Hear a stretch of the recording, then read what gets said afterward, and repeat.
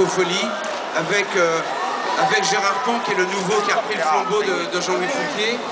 Et Jean-Louis, tu voulais dire quelque chose Euh. Je- Vous voyez, comme quoi, comme quoi, hein. En tout cas, voilà, je voulais dire que je passe comme vous un bon moment ce soir.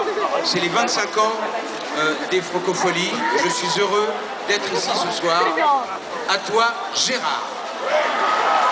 Voilà, je veux juste faire...